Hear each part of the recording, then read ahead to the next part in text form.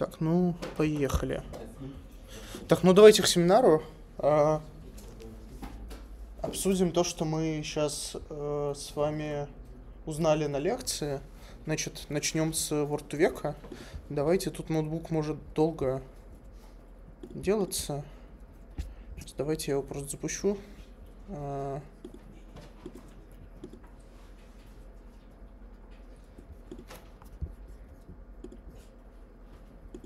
Ой, это я зря сделал.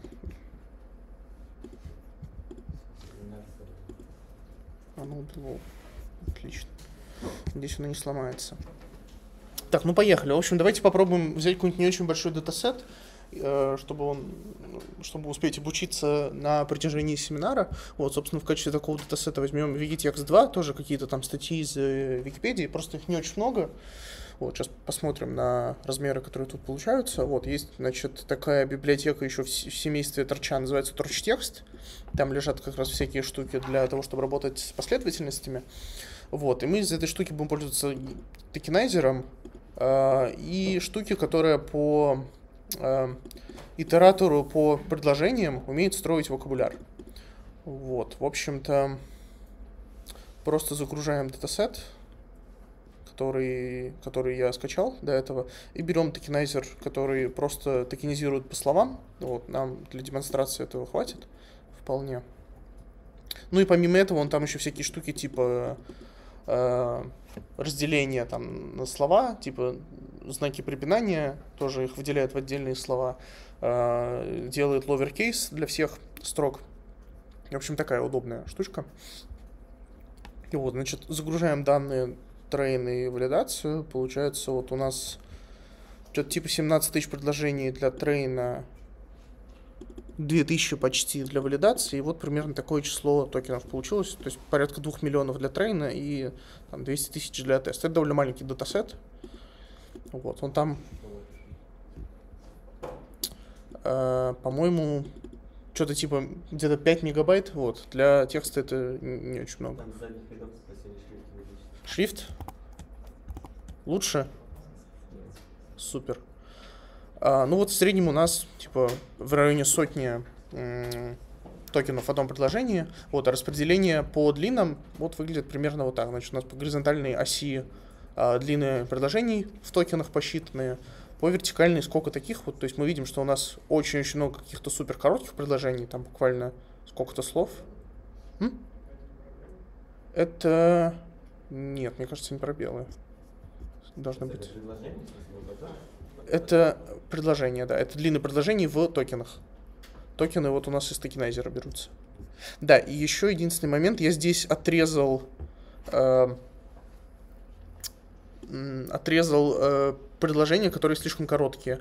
Потому что вот нам нужно ходить некоторым окошком, ну, как мы разбирали в век. И значит, у меня здесь будет окошко размера 9. Четыре э, слова слева, от центра, э, центральное слово и четыре слова справа. Вот, э, чтобы с маленькими предложениями не взаимодействовать, давайте мы их просто уберем. Вот, э, ничего страшного от этого не случится. У нас все равно большая часть именно токенов расположена в больших предложениях, поэтому то, что маленькие уберем, ну, что-то, конечно, потеряем, но не так страшно. Вот, после этого таким вот образом строим вакап. Значит, здесь мы зададим еще гиперпараметр minfrec, который скажет, что если у нас слово встречается редко, мы просто его не будем добавлять в словарь, вместо него будем использовать унг. Ну и вот как раз тут мы добавляем специальный спешл, унг, который у нас будет обозначать слова, которые редкие, или потом для теста слова, которые не встречались в трейне. И после такой манипуляции, значит, min word frequency у меня стоит то ли 10, то ли 20, да, 20. И суммарный размер словаря, который у нас получается после того, как мы его построили, это порядка вот 8000. Вот, выглядит это примерно вот так, что вот у нас было вот такое предложение, токенизированное. Очень странно выглядит, почему тут точка посередине. А, а может это было имя? Seaside Holiday, g.salmon, может быть, это типа имя и фамилия. Поэтому они точка разделены. И вот какие-то две даты. Вот. В токенизированном виде это все выглядит вот так. Значит, у нас 0 это здесь а, номер токена, который отвечает UNC. Вот, э, это можно посмотреть. У меня просто тут бегают процессы, я не смогу а, вывести отдельно. Но можете мне поверить, что если мы посмотрим на vocab и обратимся к нулевому, к нулевому а, слову, это как раз будет unk. То есть это значит, что слово seaside редкое и встречается меньше 20 раз. Вот. Э, так-то, если мы взяли бы датасет нормальный, а не маленький, то понятно, что seaside это какое-то достаточно common слово, поэтому должно быть часто, и мы его тоже должны кодировать, но поскольку датасет маленький, оно, видимо, здесь редкое. Ну и, видимо, тут какие-то исторические статьи в этой части Википедии, которые в этом датасете представлены, потому что годы, вот они спокойно закодировались. То есть вот 2079 номер токена, это 1157. Значит, нам для того, чтобы учить Word to Vec, нужно слепить пары, где у нас вот первое э, слово в паре это центр, окошко, второе слово это слово из контекста. Вот поэтому мы напишем свой collate fn, который передадим в даталодер, чтобы у нас формировались свои батчи. Вот, собственно, все, что мы здесь делаем, это просто проходимся, вот нам приходит батч, э, получается, последовательностей, а мы по ним проходимся, Значит, чего тут? Если, если последовательность слишком длинная, мы ее обрубаем. Давайте слишком длинными последовательностями не будем работать, чтобы у нас батч не переполнился. Э, просто если возьмем слишком большой батч и не следим за ним, то там для больших батчей у нас может э, память на ГПУ закончится просто, поэтому слишком большие батчи делать не будем, и поэтому запретим последовательностям быть слишком длинными. Вот, значит, здесь у нас что? Здесь мы просто проходимся по очередному элементу в баче, э, прикладываем вот окошко, и вот, значит, э, в качестве аутпутов у нас будут разные элементы контекста, в качестве инпута будет э, центр окна, вот, которая вот, вот, вот по такому индексу находится. Ну и потом все это слепливаем в один лист, запихиваем в тензора и возвращаем. Вот, соответственно, у нас будут два вот таких вот даталодера с нашей собственно написанной Collate FN. У нас на прошлом семинаре, когда мы учили э, детекцию, у нас там тоже была своя Collate FN, потому что, потому что нужно было по-другому формировать бачи, чем это бы делал Торч по умолчанию. Вот здесь точно такой же случай. У нас немножко странное, ну, немножко необычное э, то, что мы подаем в нейронку, и то, что мы будем э, использовать в качестве таргета, поэтому вот такую свою штуку написали. Ну и дальше идет по-моему, просто обучение. Сейчас давайте посмотрим на модельку. Тут просто тренинг. Вот, ничего, ничего необычного не происходит. Вот, смотрите, тут вот мы проходимся по этим inputs и outputs, где у нас inputs, это получается слова э, центра окошка, а outputs это контекст. Вот, мы точно так же их передаем. Вот у нас будет модель, которую мы сейчас посмотрим, которая нам по входам вот этим, по центру, э, предсказывает логиты, Дальше просто считаем обычную кросс-энтропию между логитами, и у нас в качестве классов теперь выступают вот эти слова из контекста, точнее их индексы в словаре. Ну и точно так же учим. Э, с валидацией все то же самое. Ну и вот, значит, наша моделька. Вот она, как я говорил раньше, состоит из двух слоев. Вот у нас первый это embedding. Э, он имеет вот такие параметры, два самых важных. Это сколько нам всего нужно эмбеддингов, то есть размер словаря, по сути. Ну, здесь мы это и прописываем. И какой размерности нужны эмбеддинги, вот у нас для этого есть тоже параметр.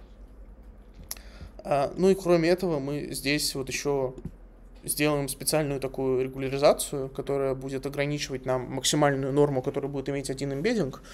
Вот. Э, просто служит как регуляризация, и потом мы будем смотреть на всякие э, разные углы между словами, и если у нас ограниченная норма у эмбеддинга, то мы, ну, нам как бы валидно считать угол, он будет каким-то адекватным. То есть, потому что у нас все, значит, э, векторы будут э, расположены на единичной сфере, ну, внутри единичной сферы, и мы можем посчитать между ними косинус, и он нам будет э, обозначать, ну, типа, какую-то адекватную меру близости между двумя векторами. Если бы мы разрешили норме вектора быть какой угодно, то у нас может быть э, угол между двумя векторами маленький, но при этом векторы друг от друга разные, далеко, потому что у них э, разные нормы сильно.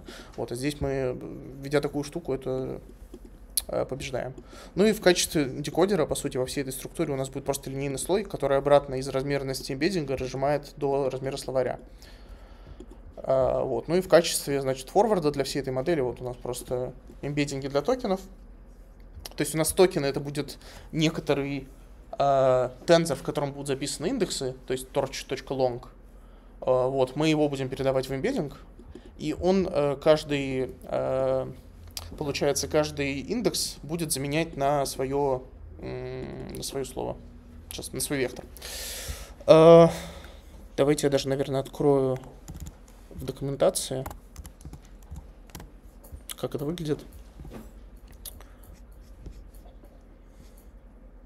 То есть вот у нас есть вход произвольного размера, где записаны вот int tensor или long tensor.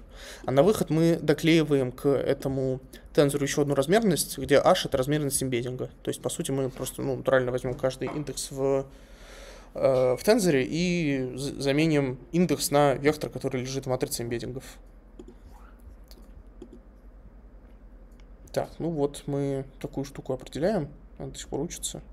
Окей. Эм, Значит, у нас размерность эмбеддинга я поставил, по-моему, 256. Сейчас проверим. Угу. Максимальная норма эмбеддинга 1. Ну, это какие-то параметры оптимизации. А размер словаря у нас получился вот чуть больше 8000. А почему ставится максимальная норма, а не ровная норма? Ну, почему-то это так э, сделано. Ну, э, здесь он, видимо, почему-то решили сделать так, что разрешают э, быть векторам меньше по норме, чтобы они были типа внутри шара, а не на сфере. Я не знаю, почему так сделано. В принципе, я думаю, если бы мы их загоняли, загоняли именно на сферу единичную, то тоже бы работало. Может, просто немножко больше свободы. А, да, написано, что нормализуются только те вектора, которые единичные. Угу. Они, скорее всего, просто после каждого обновления проецируются обратно на единичную сферу. Скорее всего, это так работает. Ну, а те, которые внутри, они остаются внутри.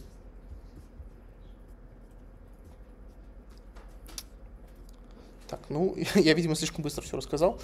Тут вот оно не успело еще доучиться. Ну, в общем, видно, что лосс падает. При том, что, ну, на самом деле, он остается довольно большим, типа порядка 6. Но это кажется все равно сильно лучше, чем случайный лосс, потому что... Э, чего у нас? У нас 8000 выходов, да, получается, у вас была э, задачка в первой теории домашки, что случайная модель имеет кросс-энтропию порядка логарифма числа классов, ну там плюс некоторая константа. Значит, у нас логарифм 8000 это что-то типа 8 или 9, примерно так. Вот, поэтому случайный лосс тут был 8 или 9, вот, а тут у нас сильно меньше, чем случайный лосс, так что все учится. Эм... Так, чего я еще хотел?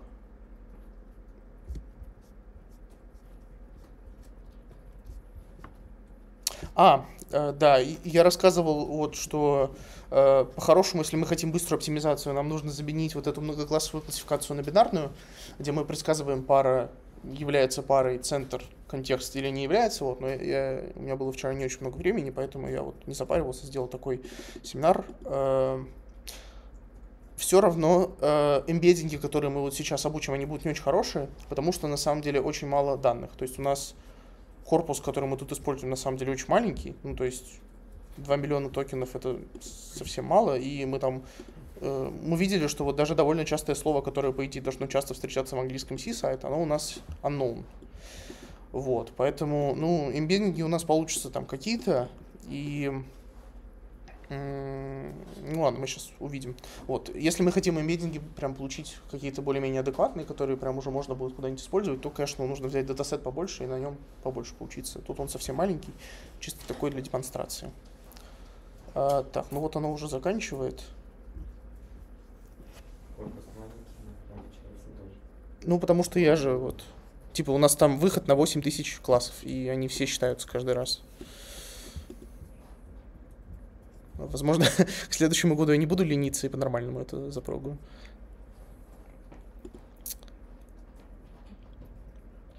Так, ну, по-нормальному, да, чтобы вот через бинарную э, классификацию это сделать. Давайте я пока расскажу, что будет дальше. Смотрите, э, вот мы обучили эмбеддинги, и каждому слову у нас соответствует какой-то вектор.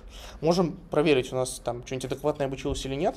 Э, можно посмотреть на вот э, вот у нас есть там какой-нибудь эмбеддинг для очередного слова, можно посмотреть на э, векторы, которые ближе э, всего к нашему по косинусному расстоянию. То есть, по сути, имеют наименьший угол с нашим вектором.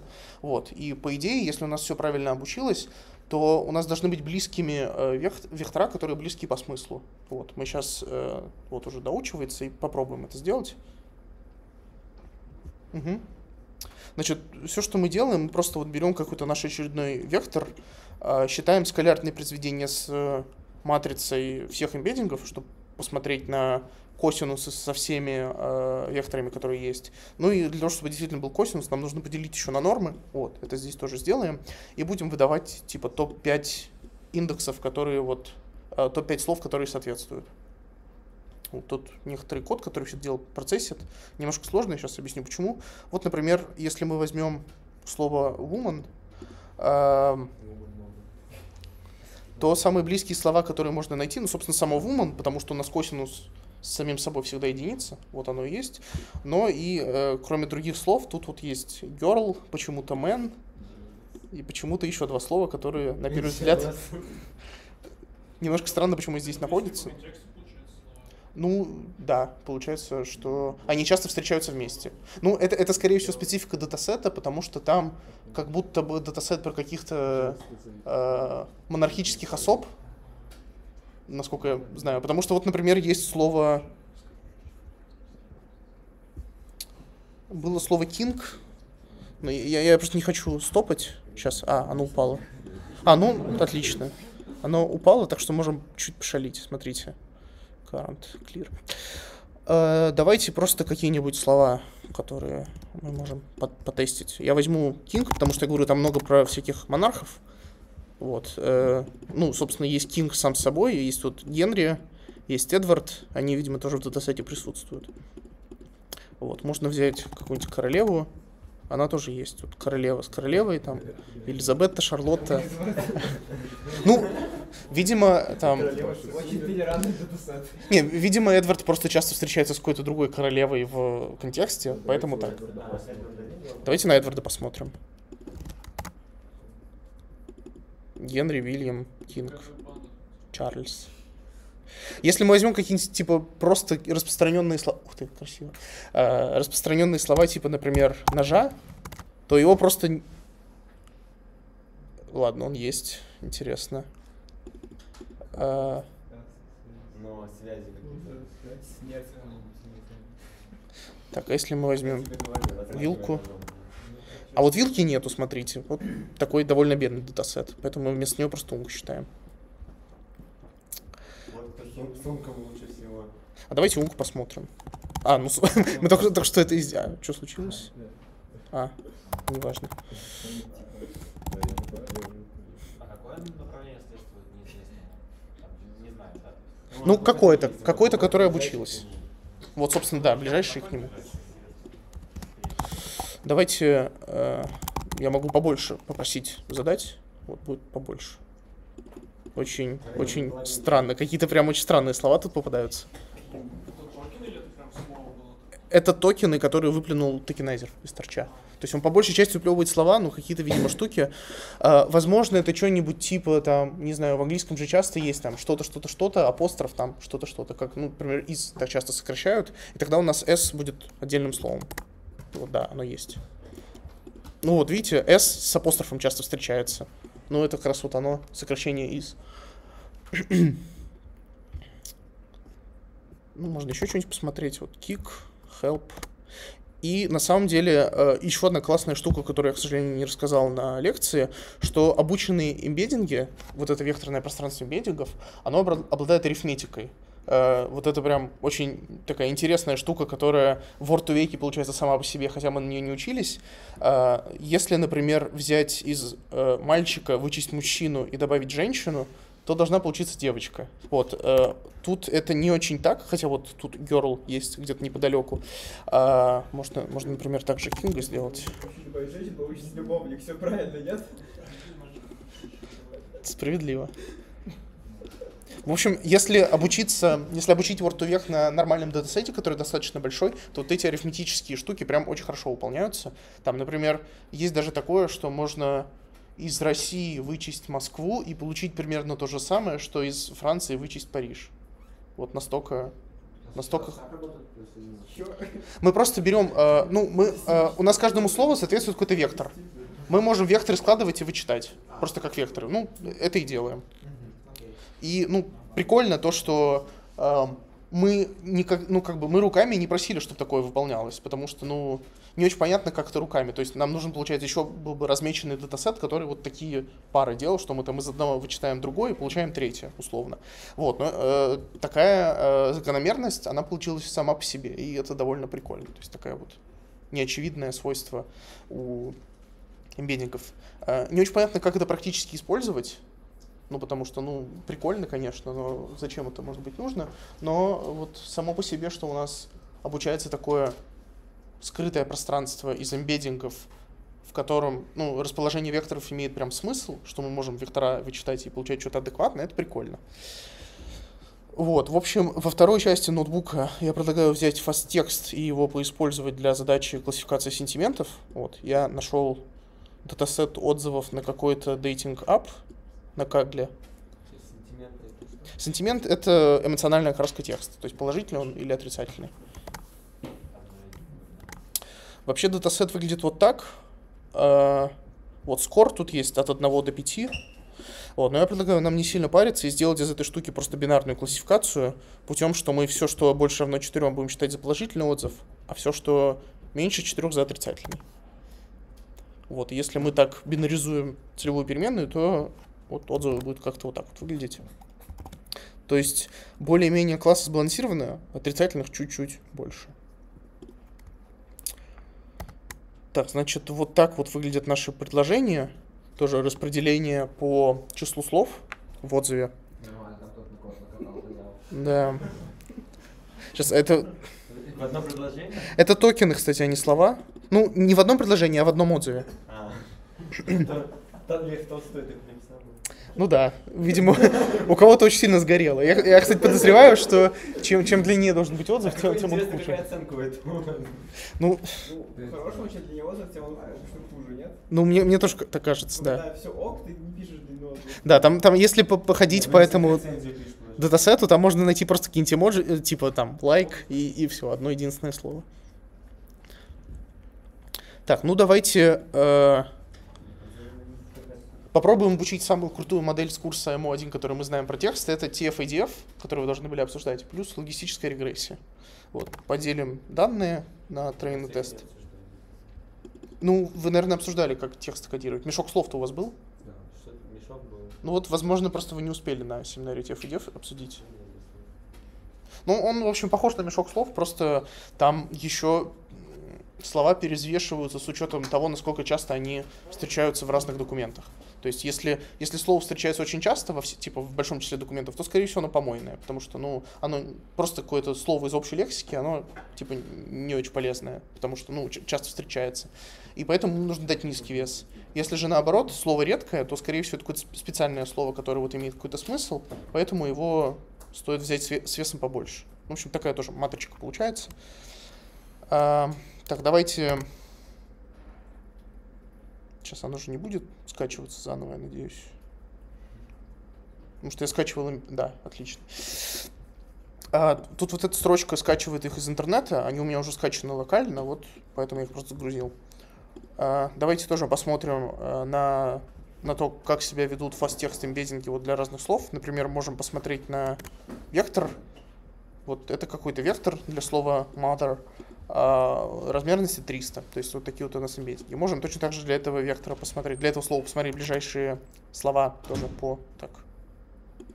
Почему так медленно? Мгм. Ну вот такие. Значит, вот тут вот у нас similarity написаны, вот тут всякие слова.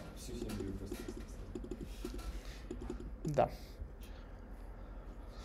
Ну и, в общем, что мы сейчас сделаем? Попробуем взять вот этот TF-IDF, который очень простой. Вот, видите, он написан с колерни, стал быть, это очень популярный и распространенный алгоритм. И попробуем, ну вот сначала мы сделаем TF-IDF э, трансформ на текст. У нас будут вот такие вот матрички. То есть у нас вот, вот это число объектов для трейна и для теста, а вот это новое число признаков. Вот. Тут, да, я тоже сделал отсечку. Слишком редкие слова не учитываются. Ну и поверх вот этой штуки обучаем просто логистическую регрессию и смотрим, что получается. Ну, получается вот так. Аккураси на трейне 89,5 примерно, на процент ниже на тесте.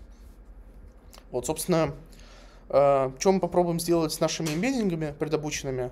Uh, ну вот я рассказывал про очень тупой вариант. Давайте мы возьмем просто вот, у нас есть отзывы, да, uh, в отзыве много слов, и поэтому, когда мы к каждому токену применим эмбеддинг, у нас каждый отзыв превратится в последовательность эмбеддингов. Давайте мы просто эту последовательность усредним, так чтобы у нас вся, весь отзыв описывался одним вектором, и попробуем тоже на этом векторе обучить логистическую регрессию.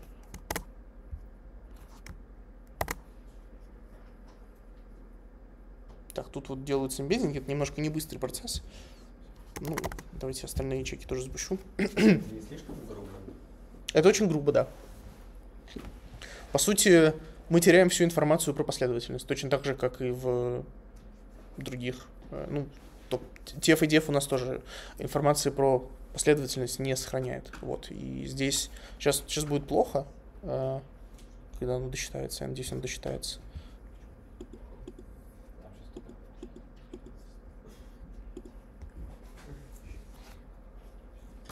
только Вот, досчиталось. Ну, типа, заметно хуже, чем TF и DF. А, но у нас в TF и DF получается 7600 признаков. Тут всего 300, потому что, ну, а, каждый, каждый отзыв мы представляем как усредненный эмбеддинг. Ну и за счет того, что у нас, ну, как бы, отзывы могут быть длинные, там могут встречаться очень разные слова. Когда мы их усредняем, мы очень много информации теряем. Это грустно. Давайте придумаем что-нибудь получше. Собственно, давайте мы попробуем обучить сверточную сетку для текста. А, Здесь у меня просто датасет для эмбеддингов, где у нас тоже приходят слова. Мы слова перегоняем в эмбеддинги, просто вместе складываем и паддингом добиваем до нужной длины нулями, для того, чтобы ну, у нас все было э, одного размера, и мы могли это в бачи загонять. Вот такой вот простенький датасет. Значит, Почему 0.85 это плохо вообще? ну потому что это хуже, чем вот это. Ну, хуже-то да, но...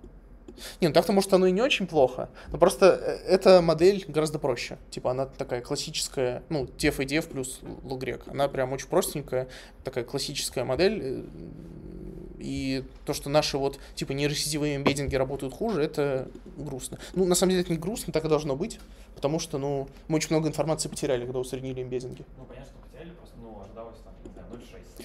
там, там, Ну, тут, видимо, задачка очень простая. Вообще, очень часто сентимент анализировать это несложно. То есть для каких-то там специфичных датасетов это может быть сложно. Например, где очень много какой-нибудь постиронии, и ты не понимаешь, типа, что, что, что человек имеет в виду. Ну вот, да, да. Обычно там для, для general датасетов э, анализ сентимента это просто. Там обычно, там, не знаю, цифры за 90. Скобочки Как правило. тоже. Ну, вот Если да. есть да. закрывающая скобка, то это, положительное, если закрывающая. Ну да. Я тут не стал пробовать такую модель, хотя, возможно, она бы тоже что-нибудь адекватное привела. А, кстати, вот этот вот бейзлайн с DF и логистической регрессии, на, на удивление, он часто бывает довольно сильным, ну, потому что он быстро учится и учится без проблем, то есть нет никаких проблем, чтобы завести логистическую регрессию, она точно нормально обучится. Вот, и очень часто бывает так, что вот этот бейзлайн сложно преодолеть даже нейронками. Мы скалер фигню не добавили. Ну, по факту. Ну, мы, мы- мы на самом деле сейчас это сделаем. Давайте, как я сказал, попробуем обучить сверточную нейронку. Значит, вот ее архитектура. Давайте я чуть-чуть отзумлю. Значит, она будет похожа на ResNet, только мы будем использовать не двухмерные свертки, а одномерные. Так, обратно. А, вот у нас один блок ResNet, по сути, где у нас свертка, батчнорма, релу, свертка, батчнорма, потом skip connection и финальный релу сверху. Вот, единственное отличие, это что мы используем одномерные свертки. И эм, я тут решил вообще не изменять пространственную размерность. То есть вот как у нас была какая-то длина э, последовательности, так она и остается. Потому что тут на самом деле у нас есть и очень короткие последовательности, типа условно из одного слова. Там чел написал просто типа супер. Вот, и есть очень большие. Э, Если мы там одно слово как-нибудь будем уменьшать его пространственную размерность, ну, скорее всего, какая-то фигня получится. Поэтому давайте просто оставим как есть. И число каналов я тоже не стал менять. У нас вот как было 300 исходно в эмбеддинге, так я эти 300 каналов и тащу сквозь все эти блоки. Почему здесь sequential? Нет, А, Можно было, я решил просто не делать этого. Просто для наглядности. Ну и дальше вот потом, собственно, основной модуль. У нас есть несколько вот этих базовых блоков, которые здесь я уже загнал в sequential. И есть классифайер, который из число каналов переводит в число классов. Значит, смотрим на forward. А, Первый шаг у нас просто мы прогоняем вот эти, нам приходят имбеддинги из фастекста. Мы прогоняем их просто через вот эти сверточные блоки. Дальше начинается магия, вот то, что я говорил, что нам нужно сделать э, правильное усреднение, чтобы мы для каждого элемента в батче делили именно на его длину, а не на какую-то кривую. То есть, чтобы у нас вот этот мусор, который мы запихнули в качестве нулевого паддинга, нам никак не мешал. Как мы это сделаем? Мы сначала сгенерируем маску. В общем, как она делается? У нас вот, вот, вот, вот ключевое место вот здесь. У нас э, length это, или, э, это тензор э, размера batch size, где записаны длинные, э, длинные элементов батча, то есть длинные последовательности, которые есть. И мы просто создаем такую маску, которая вот у нас для каждой последовательности, если вот на этой позиции все еще идет последовательность, то мы туда поставим один. Если уже начинается паддинг, то поставим 0. Вот и вот такую маску сделаем. Вообще в маски очень часто вообще встречаются, когда мы делаем что-то с э, переменным входом, потому что у нас, ну, тензора должны быть полные, а при этом, ну, мы знаем, что э, разные элементы в батче имеют разную длину, и надо это как-то учитывать. Мы там, например, когда трансформеры будем делать, там тоже будут всякие маски, чтобы ненужные, там, ненужные элементы, которые у нас вот просто как паддинг э, лежат в тензоре, чтобы их не учитывать. Вот. Ну и, собственно, как эту маску мы применяем? Мы ее просто умножаем на наши признаки.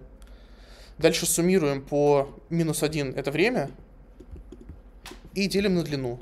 То есть в реальности мы здесь посчитаем средний, э, среднюю карту признаков для каждого элемента в батче. э, ну и у нас будет свое среднее. То есть мы везде усредним только по правильным позициям. Потому что ну, в неправильных позициях у нас мусор, потому что влияет э, паддинг. Вот, ну и после этого вот у нас, получается, пропала временная размерность, потому что мы по ней усреднили. Применяем просто линейную голову, которая будет у нас классификатором, ну и возвращаем логиты.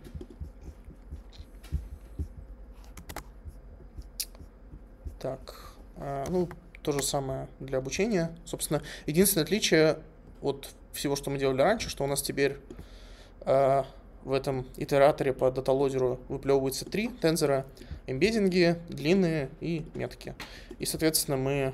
Значит, здесь еще вот эта строчка есть.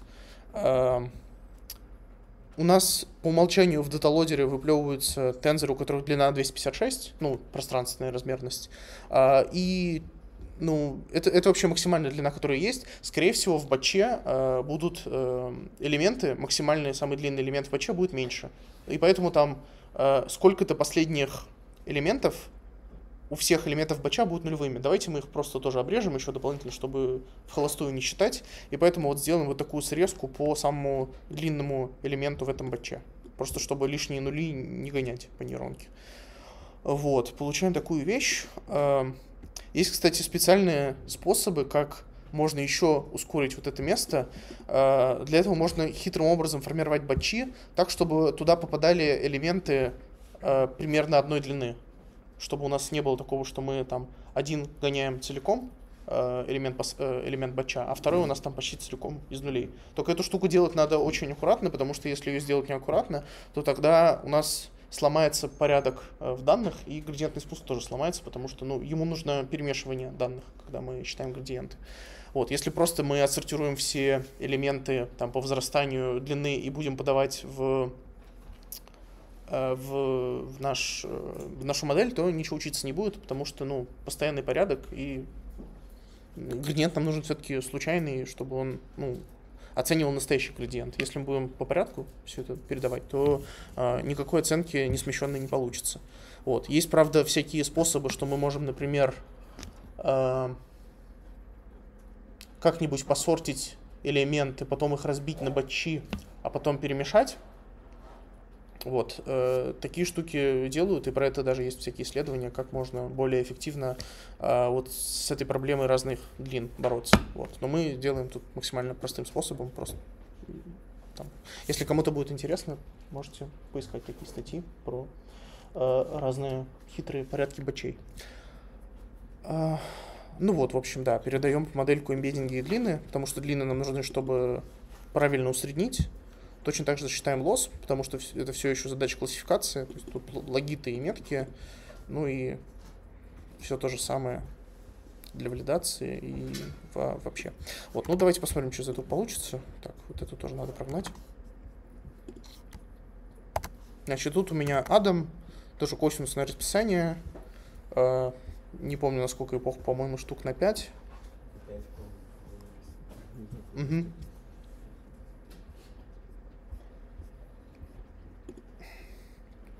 Посмотрим, что получится. Дома у меня получилось, э, когда я все это запустил, э, побить тех идеев. Тут сейчас я немножко поменьше взял сетку. Ну, скорее всего, тоже все получится. Если нет, мы ее обратно побольше сделаем.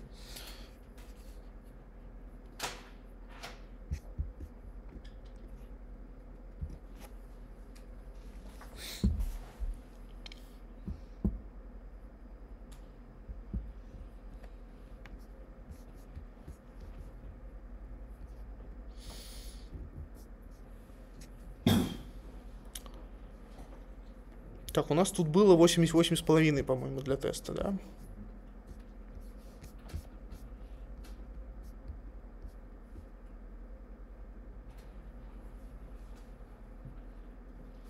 Так, ну уже 89 после второй эпохи. Так что можно считать, что мы победили.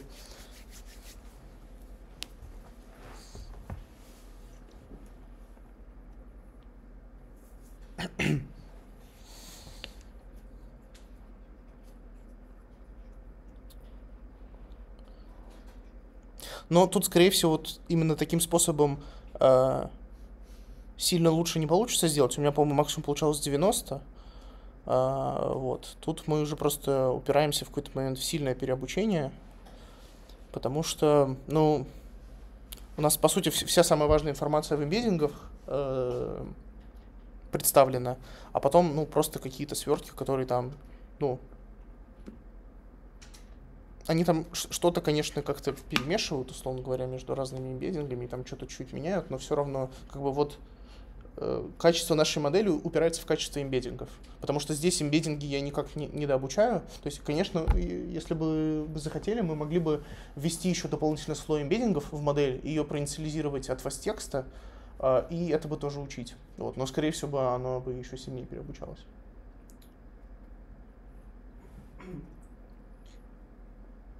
А мы вообще проверяем на тесте, типа, нам стоит задача, вот дано слово, нам нужно предсказать другое, да?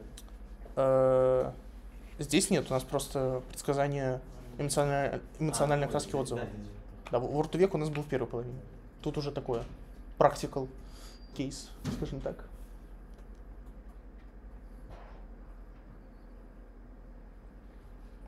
Кстати, может еще чуть-чуть получше. Как будто бы можно еще. Так, ну, у меня на самом деле все, что я хотел показать. Вот, э, пока можно подождать, пока, пока эта штука учится. Вот, можете что-нибудь спросить.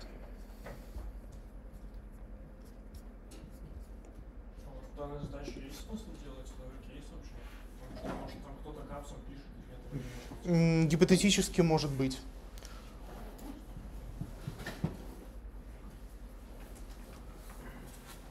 Гипотетически может быть, но э, мне кажется, ну то есть, э, скорее всего, для такой штуки, чтобы решать задачу, мы будем использовать какую-нибудь там либо предобученную модель, либо предобученные эмбеддинги.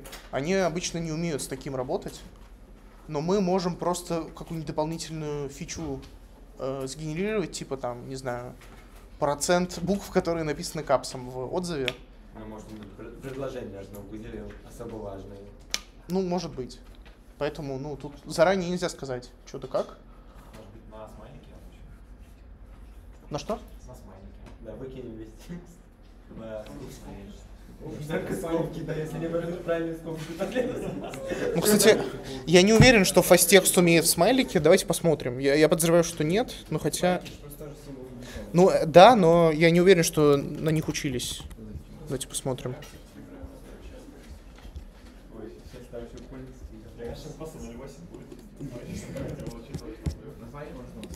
Ну, на самом деле, не во всех же отзывах есть смайлики. Ну а там с э, градуса одна вторая. Такие отзывы бесполезны. Не, ну все режима, по-моему, для года текст набираем уже смайлик. Ну, справится. Я на всякий случай вот так поставлю.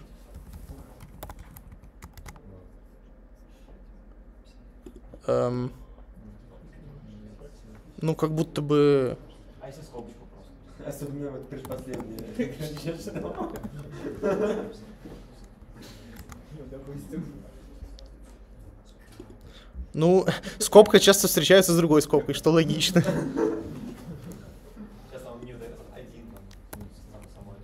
О, кстати, давайте... Сейчас, а можно как-нибудь фастекст? Я хочу проверить на фасттексте вот эти вот э, арифметические свойства.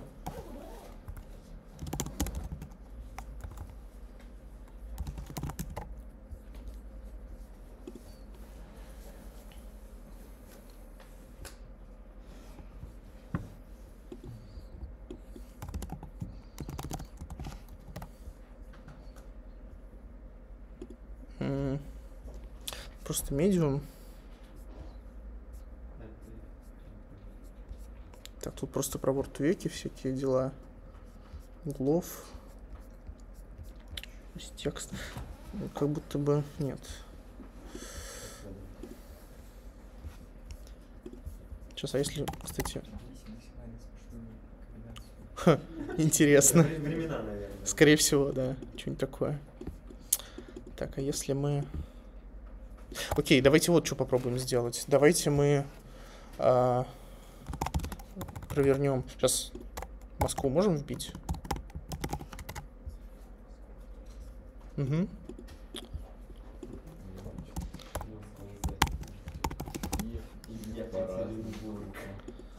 Так, э, там это называлось get... Get что? Сейчас, get word vector.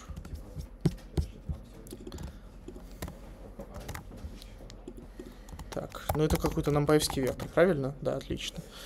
Давайте мы...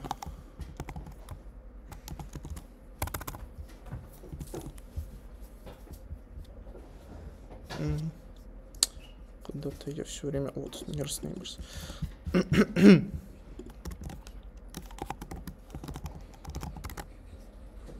Мгм. Интересно, когда их обучали? Наверное, довольно давно, потому что модель старая. Хотя, может, их там переобучали когда-нибудь недавно.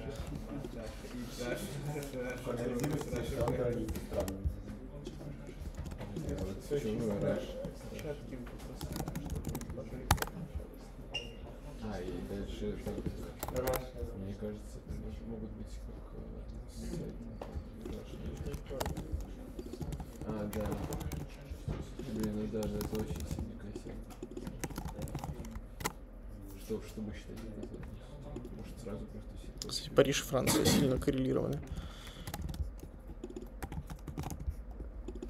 О, там есть Париж, у которого вторая буква тоже забыла. Забавно. Так, э, ну давайте мы теперь...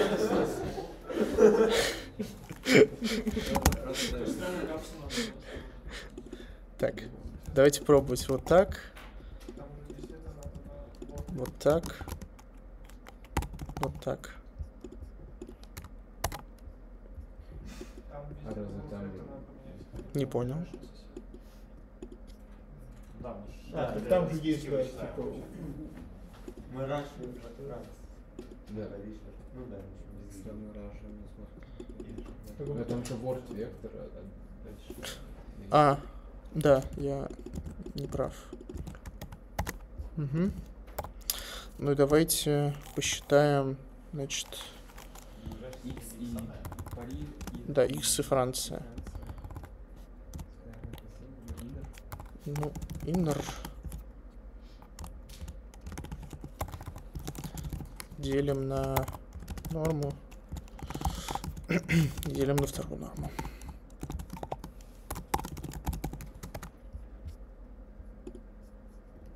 Ну да.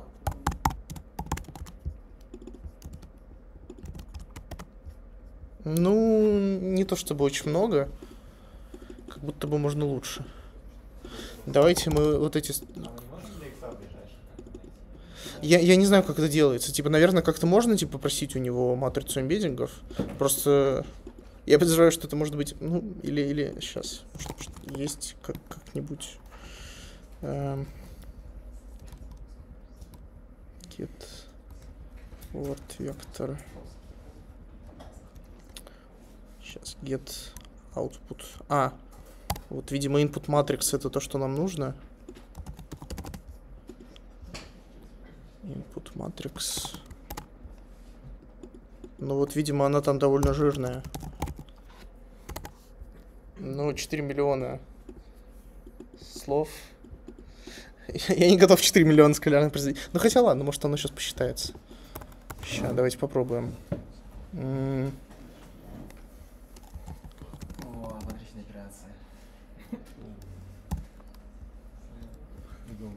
Домашки. Ща, так вот сделаем.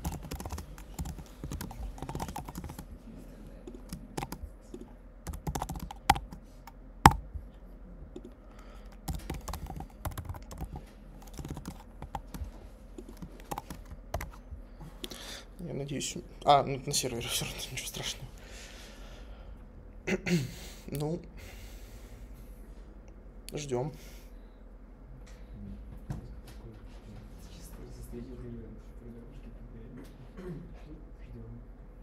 Какой первый или второй? О, это. Ой, я не там просуммировал. Ждем еще раз. О, кстати, так быстрее, да? Да, нормально. Так, теперь мы... Сколько вот это будет считаться, я не знаю. Но давайте подождем. Так, делим на нормы. Мы можем воспользоваться статистическим умножением, типа выбирать случайный случай. Да, да, да. Уважаемо.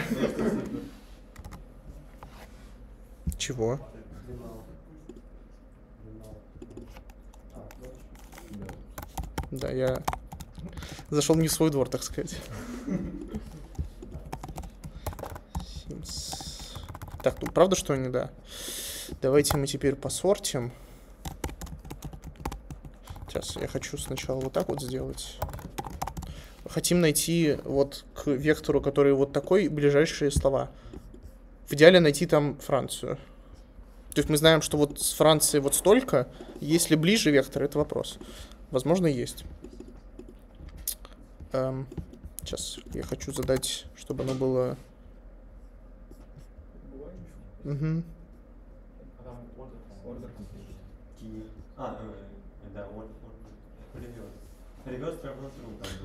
Ну, что-то не видно. Ну ладно, тогда давайте так. По колхозному. Так, 0... А почему? Почему там нет 0,75? Как это, мы отрицательное вначале поставили. А, 69. со смыслом. Ну, 69. Может, просто Ну, так символ, меньше, да? чем Франция. Что-то пошло не так. Да. Да. Ну, Франция нет, там не там, она по модулю выше. Чем-то другое.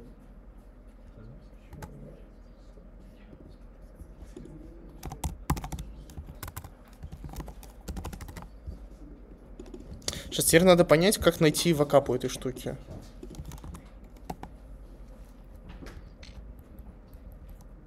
А, ну, возможно, он, кстати, использует, потому что не вот эту матрицу, а какую-нибудь, типа, либо вторую, либо их полусумму.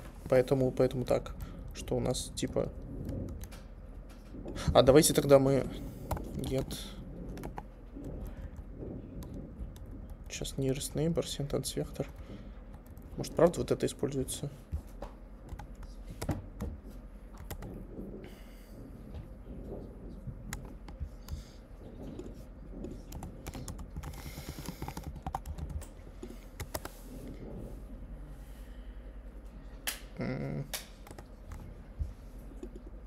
Почему? А, видимо, она там типа наоборот теперь, да? Сейчас, какой она формы? Э, почему здесь вдвоем? Что? Почему тут? Почему? Почему?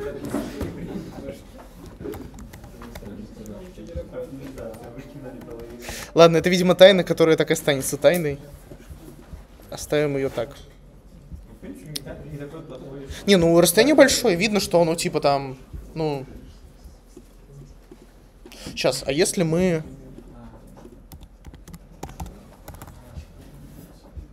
Ща.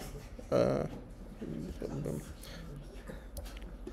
Просто еще раз посмотрим, э, насколько близки к Франции всякие другие слова. Скорее всего, они достаточно далеко. Ну, то есть, типа, расстояние будет меньше, чем вот это 0,79. Так, Франция. Да, действительно меньше. То есть мы вот такой манипуляцией нашли а, слово бли- бли- ближе к Франции, чем любое другое из словаря. Ну там есть такое слово. Что? Нет, там нет. А. Давайте мы, ладно, мы еще сделаем типа для вот этот классический пример с королем. Man, woman, queen.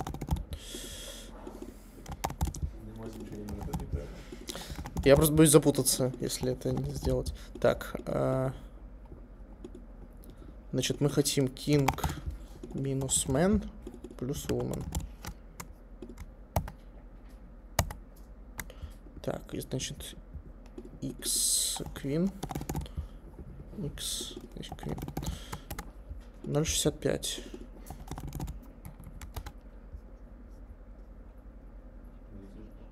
Дальше, чем Ну, получилось похуже, да.